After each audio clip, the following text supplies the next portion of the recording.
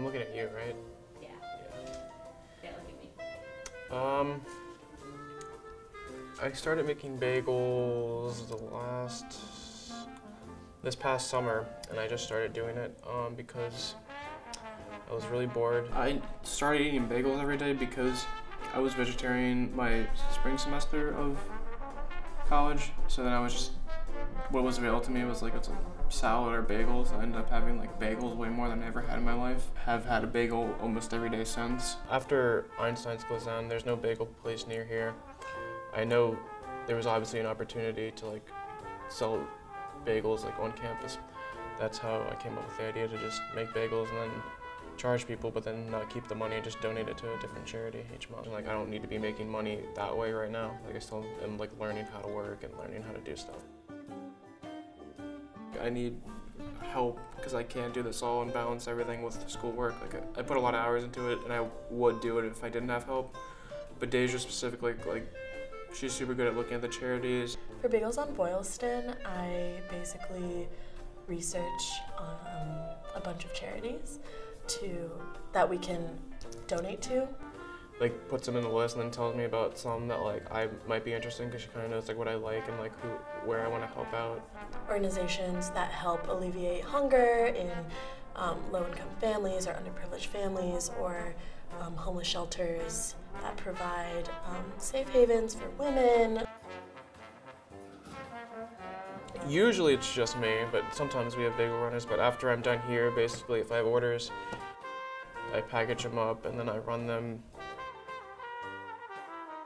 I basically will come to your door. People will give me a time and a place usually, and I'll come to the door and then I'll knock. And then sometimes the person will be there and I'll hand them their bagel, or sometimes they won't be. The idea is to bring a bagel directly to your door to cut it out in like a fresh bagel that you can't get around here like really close.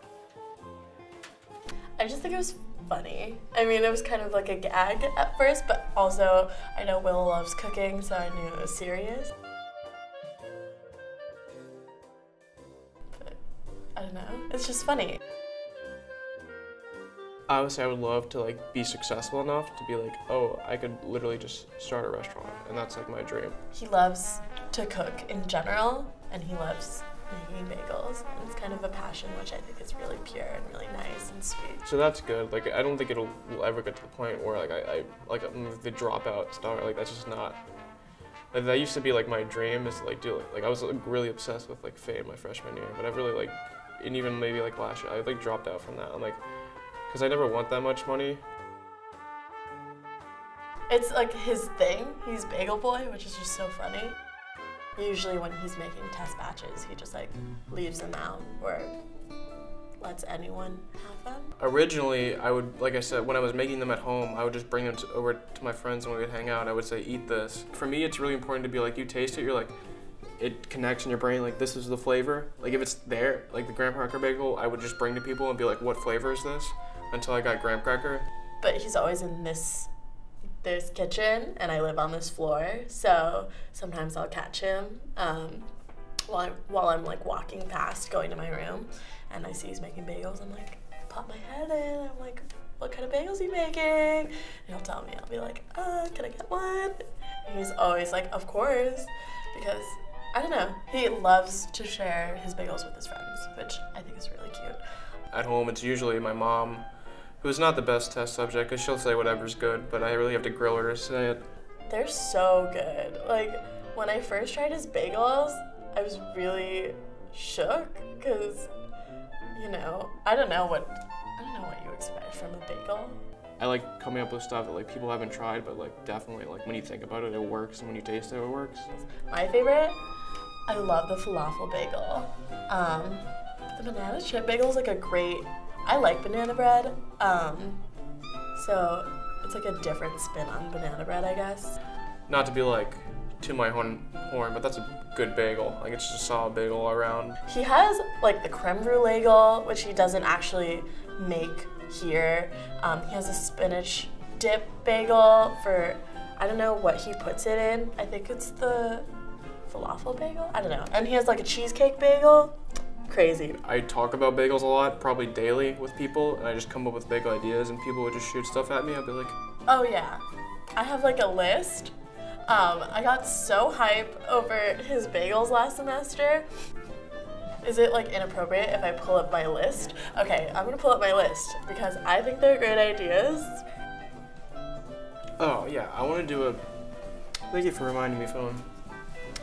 Try la- try latte bagel is what's right next. I think it definitely would work. Hasn't been done before yet. Try latte bagel. Steal it if you want, but hey, it's my idea. But he was like, I have too many sweet bagels. I need to. I got it. I need to have more savory bagels. So this is what I came up with. Um, I said a sriracha bagel, a sriracha infused bagel with avocado filling and a poached egg on top. Some reason I can't figure out a maple syrup bagel. A lot of people do it. I, I don't know how to do it. I know they probably don't use maple syrup, but that's the that's the flavor I want, and then I just can't do it because it just doesn't mix well, and then I just get frustrated. So I don't have a maple syrup bagel. That's okay. I don't know, this one's like so gross, but it's such like an American, I don't know if this is gross or not, but like it's like an American dinner um, type of bagel, which is kind of weird. But I was like, you should put like meatloaf chunks in like bagel batter and then like fill the moat with mashed potatoes and then pour it with gravy on top. Like I invented this myself. Like that's the fun of it. Like I'm, it's like doing a painting. Like you don't want to like trace something that you know exists. Like if you're painting the same kind of portrait of a person, like you're you try to reference as least as possible. Like while you're actually doing it. Obviously, I don't know shit about. Sorry. Can I? I don't know shit about bagels, but Like, I'm the best bagel in Boston proper, which- is how I feel about it. But I'm not the best bagel ever yet. But we'll get there.